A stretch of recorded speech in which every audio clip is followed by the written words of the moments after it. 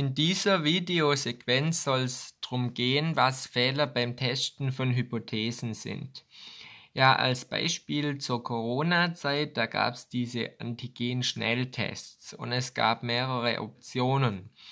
Und zwar entweder hat der Test eine negative Person nicht krank, also als gesund einstufen können und eine positive Person als krank, obwohl die Person ähm, dann äh, eigentlich gesund gewesen wäre, beziehungsweise obwohl sie krank gewesen wäre.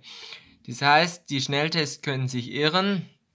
Entweder ist die Person krank, hat aber einen negativen Test, oder ähm, die Person ist gesund, hat aber einen positiven Test. Und das sind die Fehler der ersten und zweiten Art. Wenn die Nullhypothese verworfen wird, obwohl sie in Wirklichkeit richtig ist, so haben wir einen Fehler erster Art. Und wenn sie nicht verworfen wird, obwohl sie in Wirklichkeit falsch ist, haben wir einen Fehler zweiter Art. Und die Wahrscheinlichkeit für den Fehler erster Art ist gleich der Irrtumswahrscheinlichkeit und für den Fehler zweiter Art, um den zu berechnen, müssen wir die tatsächliche Trefferwahrscheinlichkeit wissen.